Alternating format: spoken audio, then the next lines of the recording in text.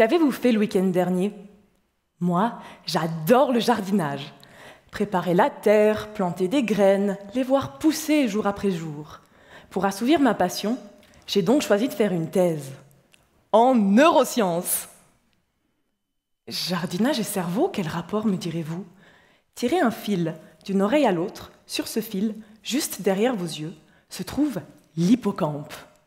Non pas l'animal marin, mais la partie de votre cerveau responsable de la formation de la mémoire. C'est le jardin du cerveau.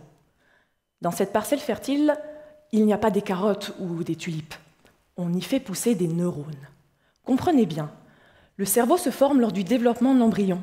Le but, le peupler entièrement de neurones durant cette période, car le temps est compté. Dès la naissance, paf, ça s'arrête. Plus de nouveaux neurones. Et bonne chance avec ceux que vous avez là.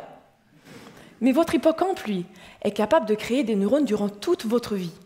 Et cela a un nom, la neurogenèse adulte. Vous savez, faire pousser des neurones dans un cerveau, ce n'est pas si différent que de faire pousser des tulipes. Pour vous ce soir, petit cours de jardinage cérébral. Prenez un hippocampe, le jardin du cerveau. Dans cette parcelle fertile sont plantées des centaines de cellules souches neurales. Appelons-les graines de neurones. Ces cellules sont chouchoutées par des petits jardiniers ultra compétents, des cellules appelées astrocytes. Une tâche importante incombe aux jardiniers fabriquer et donner aux graines un engrais composé de différentes molécules. Sans cet engrais, pas de neurones, sans ces neurones, pas de mémoire.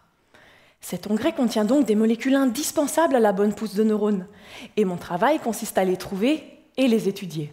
Pour cela, j'ai obtenu la liste de toutes les molécules qui composaient cet engrais, et j'en ai sélectionné plusieurs. J'ai donné ces molécules une par une à mes graines. Molécule 1, aucun effet. Molécule 2, aucun effet. Molécule 3, 4, 5, 6, 7, 8, aucun effet. Mais molécule 9, deux fois plus de neurones ont poussé. Ma thèse s'est donc centrée sur molécule 9. Je l'ai étudiée sur toutes les coutures et j'essaie de décortiquer comment et pourquoi, quand mes graines consomment molécule 9 spécifiquement, elles deviennent neurones. Chaque jour, un hippocampe est capable de générer des centaines de nouveaux neurones. Mais la neurogénèse adulte est un processus fragile. Elle est fortement impactée par la maladie d'Alzheimer, par la dépression ou même juste par le stress. Pour trouver des traitements, mon travail consiste à mieux comprendre comment les astrocytes régulent la création de la mémoire.